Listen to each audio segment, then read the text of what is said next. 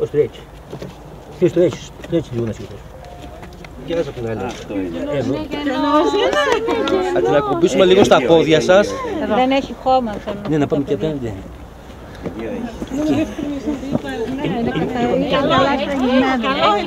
Πολύ καλά στολισμένος, και πυλό. Να τη βάλω λίγο την κάμερα. Βρισκόμαστε πάνω στον άξονα της Νέας Εθνικής Οδού, όπου διεξάγουμε μια σωστική ανασκαφή.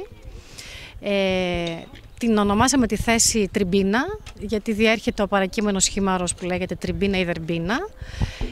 Ε, έχουμε εντοπίσει ε, δύο φάσεις χρήσης του χώρου κατά την ύστερη εποχή του Χαλκού, από το 1700 μέχρι το 1200 π.Χ. περίπου.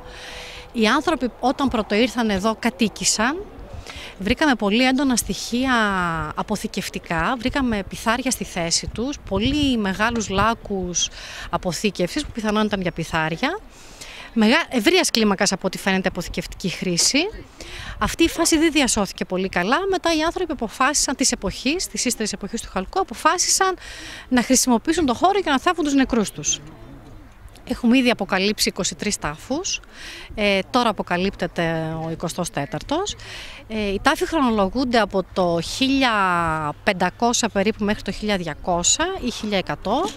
Είναι πλούσια ακτερισμένοι, έχουμε πάρα πολλά ευρήματα ε, μικυναϊκά ή μικυναϊκού τύπου, δηλαδή είτε εισηγμένα από την ανακτορική Νότια Ελλάδα είτε τοπικά που μιμούνται εκείνα. Ε, έχουμε κοσμήματα, χάλκινα, ε, όπλα στους άντρες. Έχουμε ένα σπάνιο σχετικά έβριμα για την περιοχή που είναι ένα χάλκινο σπαθί, μικυναϊκού τύπου επίσης. Ε, κάτι που σπανίζει επίσης με, στη νότια πιερία είναι οι σφραγιδόληθοι που βρήκαμε και από αυτούς. Ήταν, κάποιοι νεκροί ήταν κτερισμένοι με δύο από αυτούς. Ε, είναι ευρήματα τα οποία δεν συνηθίζονται στη νότια πιερία. Τα μόνα τους αντίστοιχα είχαν βρεθεί τη δεκαετία του 80 στον Άγιο Δημήτριο, στη θέση Σπάθες, στα στενά της Πέτρας. Πρωτόγνωρο έβριμα για την περιοχή τότε, που φαίνεται ότι υπάρχει, απλά δεν το είχαμε βρει μέχρι τώρα. Με τα πρόσφατα αυτά αρχαιολογικά ευρήματα, πόσο αναβαθμίζεται η περιοχή εδώ του Πλαταμόνα ή πόσο αναβαθμίζεται η συλλογή σας; Η συλλογή μας εμπλουτίζεται πάρα πολύ, αλλά αυτό είναι το λιγότερο. Το περισσότερο είναι ότι για την εποχή για την οποία μιλάμε ουσιαστικά βοηθούμε στο να συμπληρωθεί το puzzle της έρευνας. Να μάθουμε δηλαδή τι συνέβαινε στην περιοχή ε, κατά την ύστερη εποχή του Χαλκού σε πολλά επίπεδα. Στην οργάνωση της κοινωνίας, της οικονομίας, γιατί εδώ έχουμε την τύχη να έχουμε δύο φάσεις. Και οικιστική, μέναν οι άνθρωποι, αλλά μετά και την ταφική. Ε, βοηθούμε λοιπόν σε επίπεδο λίγο μεγαλύτερο του τοπικού στην έρευνα. Με υπομονή και πολύ προσοχή, οι αρχαιολόγοι αλλά και η ομάδα σωστικών ανασκαφών ξέθαβαν τα πολύτιμα και σπάνια αυτά ευρήματα. Αυτό που εντυπωσιάζει τις ανακαλύψεις είναι πως βρέθηκαν αντικείμενα μικυναϊκά ή τύπου μικυναϊκού ρυθμού, γεγονός που δηλώνει κάποιο είδους επικοινωνία με την Νότια Ελλάδα. Ό,τι έχει βρεθεί μέχρι στιγμής από την τρέχουσα ανασκαφή στην περιοχή του Πλαταμόνα φυλάσσεται σε ειδική αίθουσα συντήρησης. Βρισκόμαστε στο παλιό Δημοτικό Σχολείο του Πλαταμόνα, που είναι το παράρτημά μας αυτή την περίοδο. Εδώ είμαστε στην προσωρινή αίθουσα συντήρησης. Ε, στην προθήκη εδώ έχουμε τα ευρήματα που αποκαλύφθηκαν από την τρέχουσα ανασκαφή με το Μικυναϊκό Νεκροταφείο. Ε, ήταν όπως είχαμε πει πλούσια κτηρισμένο, ε, με πολλών ειδών κτηρίσματα, εκτός από τα αγκία που τα βλέπετε. Είχαμε αρκετά κοσμήματα, όπως για παράδειγμα χάλκινα κυρίως, ε, ένα περιδέρεο, ε, ένα ενδιαφέρον είναι το, αυτό το βραχιόλι με τις σπήρες. Ε, ενδιαφέρον αποτελεί επίσης αυτή η περώνη που ήταν για να συγκρατεί τα ενδύματα ε, οι άντρες α, συνηθιζόταν να έχουν μαζί τους κάποιο όπλο, όπως ήταν ένα δόρι. Αυτή είναι η αιχμή του, στην οποία διατηρείται και το ξύλο, έχει συντηρηθεί βέβαια, ε, καθώς επίσης και κάποιο μαχαίρι μαζί του, κάποιος άνδρας. Ε, οι γυναίκες φέραν τα κοσμήματά τους φυσικά και τα είδη προσωπικού καλοπισμού, βραχιολάκια σε πιο μικρές ηλικίες, κάποιες παιδικές ταφές.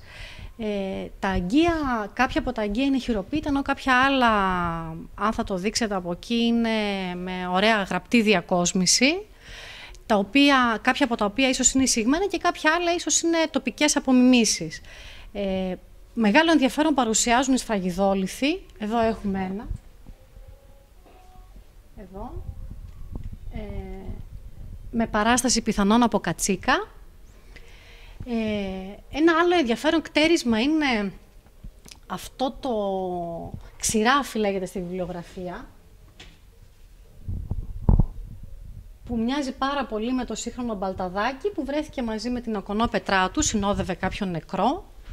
Ε, κοσμήματα είτε δαχτυλίδια χάλκινα είτε κοσμήματα μαλλιών της κόμωσης, ήταν αυτά εδώ τα σπυροειδή χάλκινα ε, κτερίσματα.